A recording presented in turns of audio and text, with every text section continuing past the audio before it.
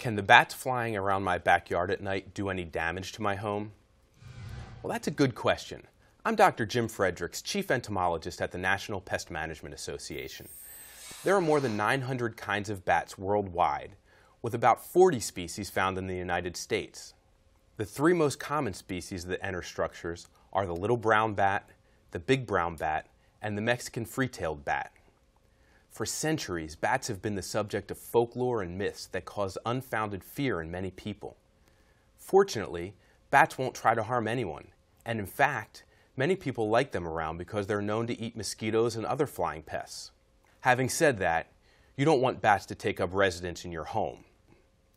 They can harbor pests like bat bugs, and their droppings, called guano, have quite an unpleasant odor and can harbor pathogens that can be harmful to your health. An accumulation of droppings should be professionally decontaminated and removed.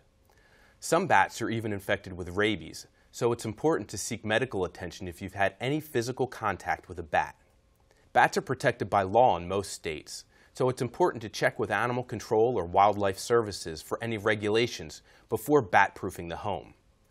For tips on keeping bats at bay, or to find a professional to help to remove or exclude them, visit pestworld.org.